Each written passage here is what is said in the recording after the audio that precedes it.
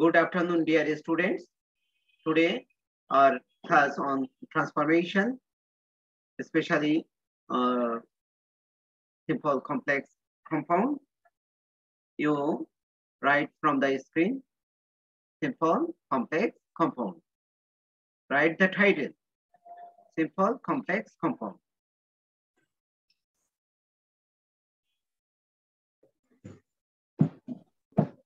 Under simple sentence, you should write the reason. of. For simple sentence, you should write the reason of. Under complex, you should write why. Under compound, you should write and. Can you see the screen? Yes, sir. Okay. Sir.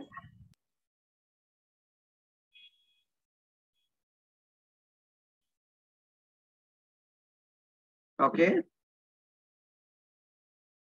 Complete the writing, what you see on the screen. The reason of why, the first sentence, I do not know why he was absent from the meeting. You should do the sentence in simple and com and compound.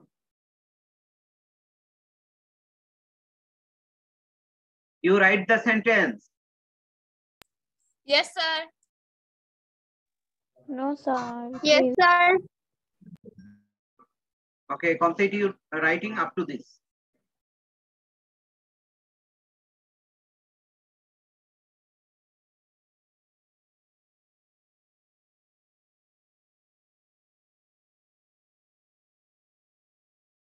Hope your writing is over. Okay. Now we'll do the sentence in simple. For simple sentence, I do not know the reason of his being absent from the meeting. Okay. তাহলে দেখো আমরা why এর জায়গায় simple করতে গেলে এই B number যে বাক্যটা যারা আমার ক্লাস পাওনি এই বি নাম্বারের বাক্যের পাশে তোমরা সিম্পল লিখতে পারো বি নাম্বার বাক্যটা হচ্ছে সিম্পল সেন্টেন্স তাহলে সিম্পলের ক্ষেত্রে আমরা কি করব? এই যে এখানে হোয়াই আছে হোয়াই এর জায়গায় আমরা কি লিখব? দ্য রিয়েজন অফ লিখব। হোয়াই এর জায়গায় দ্য রিয়েজন অফ তারপরে এখানে হোয়াই এর পরে কি সাবজেক্ট আছে? হি আছে। হি এর পসেসিভ কেস লিখব। হি এর পসেসিভ কেস হচ্ছে his R am is are was were থাকতে বিং লিখবে। এমিজার ওয়াজার থাকলে বিং লিখবে। হ্যাভেজ হ্যাড থাকলে হ্যাভিং লিখবে। আর যদি কোনো ভার্ব থাকে ভার্বের সাথে আইএনজি ব্যবহার করবে। ওকে? তাহলে I did not know the reason of his being absent from the meeting. তাহলে এটা আমাদের সিম্পল সেন্টেন্সে আমরা রূপান্তর করলাম। বাক্যটা আছে কমপ্লেক্সে যেহেতু, কীভাবে বুঝলাম? বাক্যটা কমপ্লেক্সে আছে। যেহেতু এখানে হোয়াই আছে। আমরা লিখিয়ে দিয়েছি হোয়াই থাকলে এই বাক্যটা কমপ্লেক্স হবে। ওকে? তাহলে আমি আবারও বলছি, দুই একজন এখন জয়েন করেছে। হোয়াইয়ের জায়গায় দিয়ে রিয়েজন অফ ব্যবহার করবে। দ্য রিয়েজন অফ মানে কারণে। তারপরে এখানে হোয়াইয়ের পরে যে সাবজেক্টটা থাকবে, এটার পসেসিভ কেস লিখবে। যেমন হি এর পসেসিভ কেস হচ্ছে হিজ তারপরে এমিজার ওয়াজার থাকলে বিং লিখবে। হ্যাভেজ হ্যাড থাকলে হ্যাভিং লিখবে। ভার্ব থাকলে ভার্বের সাথে আইএনজি করবে। ওকে তাহলে I do not I did not know the reason of his being absent from the meeting আমরা কি সবাই কি বাক্যটা বুঝতে পেরেছি? জি স্যার। ওকে যারা কমার্সের স্টুডেন্ট যারা আমার ক্লাস পাওনি তোমরা কি বুঝতে পেরেছ? জি sir.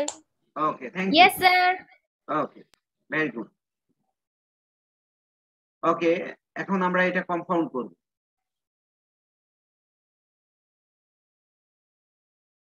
ও আমি এখানে অথবা দিয়েও আরেকটা বাক্য করে দিয়েছি। সিম্পলের এভাবেও করা যায় বিং না দিয়ে। যেমন, অর দিয়ে আমি লিখেছি I did not know the reason of his তারপরে বিংটা না লিখে আমরা কি করতে পারি?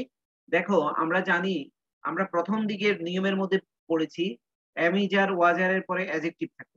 সে কারণে অ্যাবসেন্ট এই যে অ্যাবসেন্টের সাথে এখানে টি আছে অ্যাবসেন্ট থাকার কারণে এই শব্দটা হচ্ছে অ্যাজেক্টিভ তাহলে হিজ হচ্ছে প্রনাউন প্রনাউনের পরে কি রাখতে হয়? নাউন রাখতে হয় তাহলে আমরা বিং অ্যামিজার ওয়াজারের পরে আমরা এখানে অ্যামিজার ওয়াজার থাকলে আমরা বিং করি। কিন্তু এখানে যেহেতু নাউন রাখা যায়, তাহলে হিজের পরে আমরা অ্যাবসেন্টকে নাউন করেছি অ্যাবসেন্স তাহলে এইভাবেও করতে পারি। বিং দিয়ে না করে এভাবেও করতে পারি। His absence from the meeting তাহলে I did not know the reason of his absence from the meeting I N G সিস্টেমটাই সহজ। আমরা আইএনজি সিস্টেমটাই ফলো করব। কিন্তু এটাও শিখে নিলাম আমরা বুঝতে পেরেছি? পরের বাক্যটা? Yes, sir. Yes, sir. এখন হচ্ছে সি নাম্বারের বাক্যটা হচ্ছে compound he was absent from the meeting and I did not know about it তাহলে দেখো আমরা কি করেছি? এই যে কম্পাউন্ড করতে গেলে সি নাম্বারের বাক্যটা কম্পাউন্ড আমরা এটার পাশে কম্পাউন্ড লিখে নিতে পারি। এই যে সি এর পাশে কম্পাউন্ড লিখে নিতে পারি, অথবা সি শব্দটা না লিখে শুধু কম্পাউন্ড লিখতে পারো। তাহলে আমরা কি করলাম? দেখো প্রথম বাক্যটার দ্বিতীয় অংশটাকে আগে আনলাম। এই যে he was absent from the meeting এটা আমরা দ্বিতীয় অংশটাকে আগে আনলাম এবং প্রথম অংশটাকে শেষে দিয়ে দেব।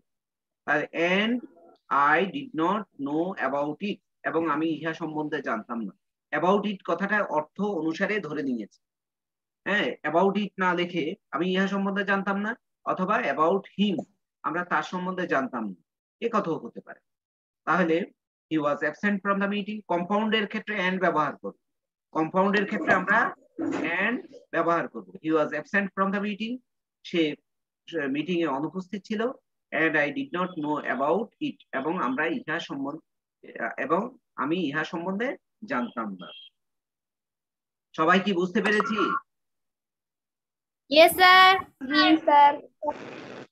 ওকে তাহলে এতটুকু শেষ করো।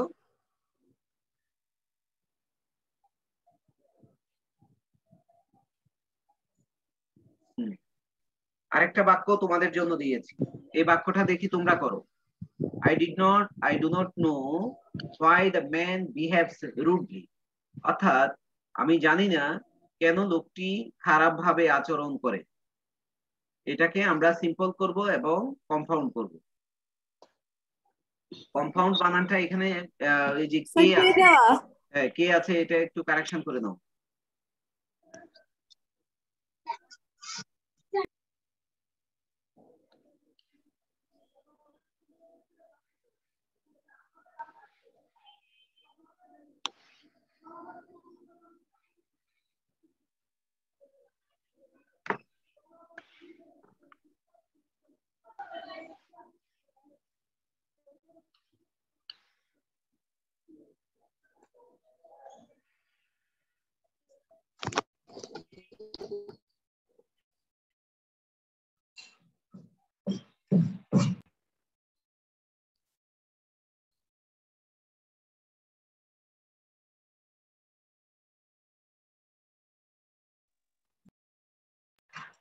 I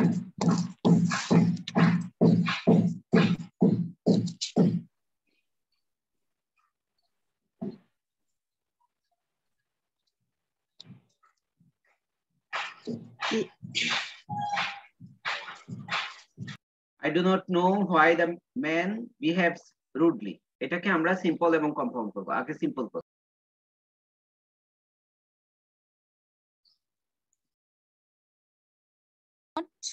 No, I do not know the reason of the man being behave rude, rudely. আহ, তোমার তোমার হয়েছিল একটু ভুল হয়েছে হবে।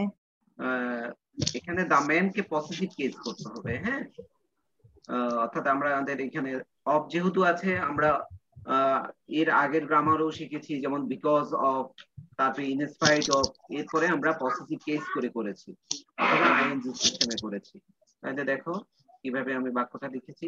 I do not know the reason of. Man behaving rudely okay অর্থাৎ দ্য ম্যান কে আমরা পজিটিভ কেস করব দ্য ম্যান তারপরে পজিটিভ কেসের পরে কি লিখতে হয়? নাউন লিখতে হয়। তাহলে ভার্বকে কীভাবে নাউন করে? ভার্বের সাথে আইএনজি যোগ করলে নাউনও হয় অ্যাডজেক্টিভ হয়। নাউনও হয় অ্যাডজেক্টিভ হয়। বুঝতে পেরেছি?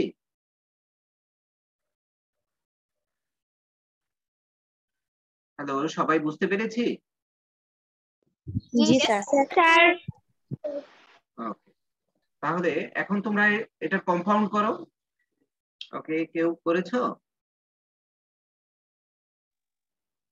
The man behaves rudely sir and I do not know about it. the man behaves rudely and I do not know about it এবং আমি ইহার সম্বন্ধে জানতাম হ্যাঁ এটাও হবে দেখি আমি কি কীভাবে করেছি। হুম এভাবে করেছি তোমার সাথে মিলে গিয়েছে। দ্য ম্যান বিহেভস রুডলি লোকটি রূঢ় ভাবে ব্যবহার করেছে and I do not know about it এবং আমি ইহার সম্বন্ধে জানতাম না। ওকে সবাই কি বুঝতে পেরেছি? জি স্যার। জি স্যার। ওকে কমার্সের স্টুডেন্টরা কোনো সমস্যা হচ্ছে বুঝতে? No sir. Okay very good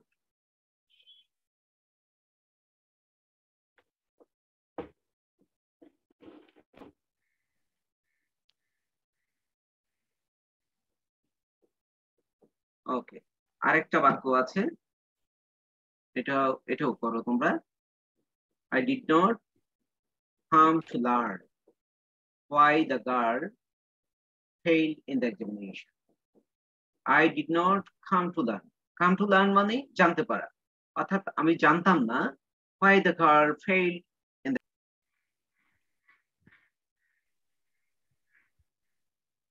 I did not come to learn the girls failed in the examination. তার reason of তো বসালে না তার reason of দিতে হবে না I did not know the I reason, did not know the did reason not- of her একজনে বলো একজনে বলো হ্যাঁ of her failed in of her failed in the examination. এখন তুমি যদি হার লেখো তাহলে দা গার্ল কিন্তু বাদ পড়েছে। যার কারণে দা গার্ল কে রেখে কাজ করতে হবে। আরেকজনে বলো। স্যার তাহলে এটা কি এরকম হবে? I did not I did not come to learn the reason the girl being failed in the the examination. Girl the গার্লের সাথে দা গার্লকে কীভাবে পজিটিভ কেস করে? তার সাথে অ্যাপোস্ট্রোফ এস যোগ করে। তাহলে the girls failing the girls The girls failing in. Examination হ্যাঁ? ওই- যে এখানে ভার্বের সাথে আইএনজি করতে হবে। অথবা আমরা কীভাবে করতে পারতাম? দ্য গার্লস ফেইলিউর এখানে যদি আইএনজি সিস্টেমে না করি আমাদেরকে এটা নাউন করতে হবে। তাহলে ফেইলড এর নাউন হচ্ছে ফেইলিউর তো এইভাবেই সহজ। ওকে তাহলে the girls the reason of লিখলাম। হোয়ার জায়গায় দ্য রিয়েজন অফ লিখলাম। তারপরে কি করলাম? এই যে কোনো নাউন থাকলে তার পসেসিভ কেস করব। আর যদি কোনো প্রনাউন থাকে, যেমন হি থাকলে আমরা হিজ লিখেছি শি থাকলে এখানে হোয়াই এর পর যদি শি থাকে তখন হার লিখব দে থাকলে দেয়ার লিখব উই থাকলে আওয়ার লিখব, ওকে?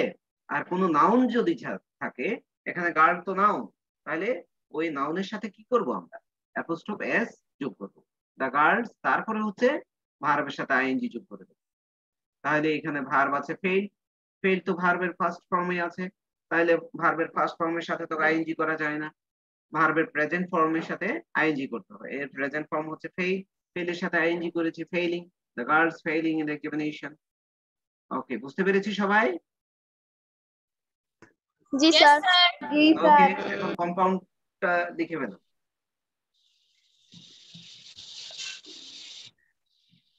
The girl fails in the examination I and I didn't come to learn about it. Very good okay হ্যাঁ হয়েছে তোমার এটা? হুম, এভাবেই লিখেছি আমি। লেখাটা কমপ্লিট করো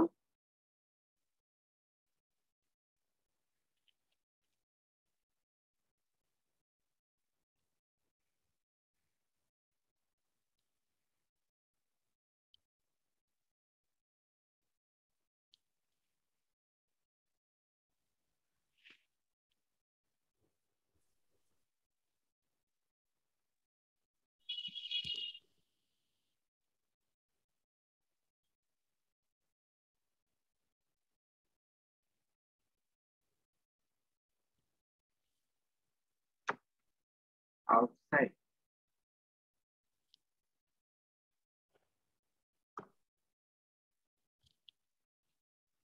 এই বাক্যটাকে তোমরা সিম্পল এবং কম্পাউন্ড করবে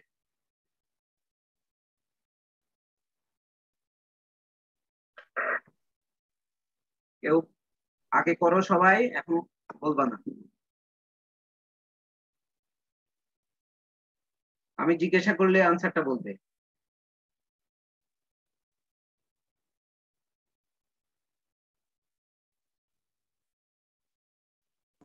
Yes, Sir, হ্যাঁ my I went outside uh, and my mother did not know why uh, did not know know about it. তুমি তো কম্পাউন্ড বলেছ তাই না Ji sir, হ্যাঁ আবার বলো I went outside uh, and my mother did not know why about it. হয় কেন আগের মতো করলেই তো হয়ে যেত। এন্ড মাই না হবে? অ্যাবাউট ইট হ্যাঁ অ্যাবাউট ইট হোয়াই না দিয়ে অ্যাবাউট ইট দিলে হয়ে গেল। সিম্পল করেছে কেউ? Yes, sir. হ্যাঁ বলো। My, my mother did not know the reason of my going outside. হ্যাঁ ওকে আদিবা বলেছ বোধ না? Ji, sir. My mother did not. আমি লিখে দিচ্ছি তোমরা লিখে নাও। Did not No. know that I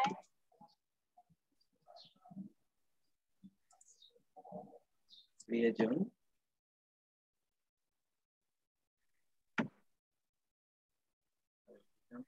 এ মোমো কি এইমাত্র ক্লাসে জয়েন করলে নাকি? জি স্যার কেন এতক্ষণ কর- করনি কেন ক্লাস? স্যার আমি এতক্ষণ অন্য পড়া পড়তেছিলাম। হঠাৎ করে খেয়াল করলাম যে অনেক দেরি হয়ে গেছে। আচ্ছা যা হোক আমি ওই রেকর্ডিংটা দিয়ে দেবো। ওইখান থেকে আবার চেক করে নিও হ্যাঁ? আচ্ছা ঠিক আছে স্যার। তবে সাথে সাথে থাকলে ভালো। ধরো কোথায় প্রবলেম হলে তুমি সাথে সাথে জানতে পারবে। ওকে এটা সিম্পল হচ্ছে। তাহলে তোমার জন্য একটু বলে দেই। হোয়াই থাকলে হোয়াইয়ের জায়গায় দাঁড়িয়ে জন্য লিখব, তারপরে প্রথম সাবজেক্টের হোয়াইয়ের পরে যে সাবজেক্টটা থাকবে, তার পজিটিভ কেস করব, তারপরে ভার্বের সাথে আইএনজি করব। তাহলে my mother did not know তাহলে হোয়াইয়ের জায়গায় দাঁড়িয়ে জন্য তারপরে আই এর পজিটিভ কেস হচ্ছে মাই এখানে যদি উই থাকতো, তাহলে আওয়ার হতো দে থাকলে দেয়ার হতো হ্যাঁ?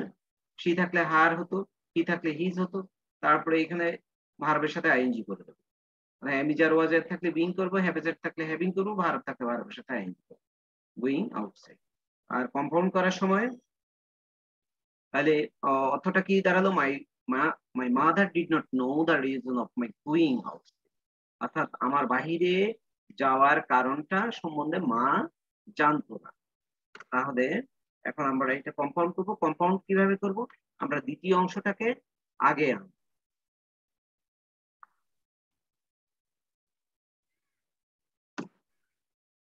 I went outside.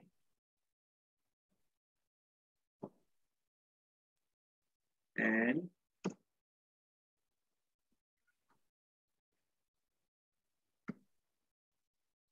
and my mother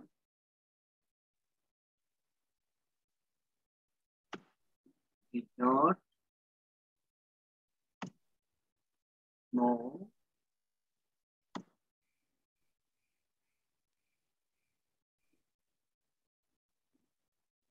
about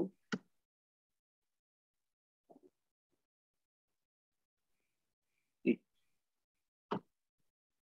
I went outside and my mother did not know about. অর্থাৎ আমরা কি করলাম যে কমপ্লেক্সে যে বাক্যটা দেওয়া আছে, ওইটার দ্বিতীয় অংশটাকে আগে আনলাম এবং প্রথম অংশটা শেষে দিলাম এবং অর্থ অনুসারে আমরা অ্যাবাউট ইট কথাটা লিখলাম ওকে সবাই কি বুঝতে পেরেছি এই নিয়ম? জি স্যার। জি স্যার।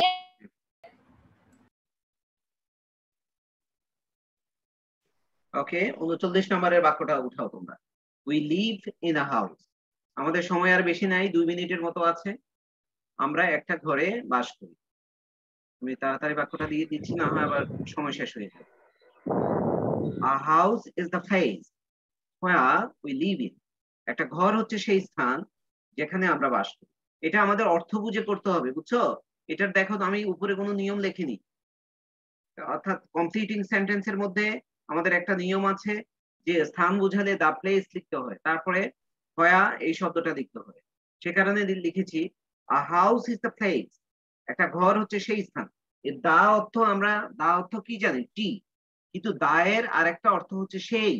লিখে নাও এটা। দায়ের আরেকটা অর্থ অর্থ হচ্ছে সেই। হাউস ইজ দ্য প্লেস একটা ঘর হচ্ছে সেই স্থান হ্যাঁ ওই লিভ ইন যেখানে আমরা বাস করি। ওকে আর কম্পাউন্ডটা লিখে নাও। ইট ইজ আ হাউস এটা হচ্ছে একটা ঘর and we live in it এবং আমরা ইহাতে বাস করি। লেখা কমপ্লিট হলে বলো। সবাই কি বুঝতে পেরেছি এই বাক্যটা? কমপ্লেক্স কম্পাউন্ড ওকে এটা অর্থ অনুসারে করতে হয় হ্যাঁ?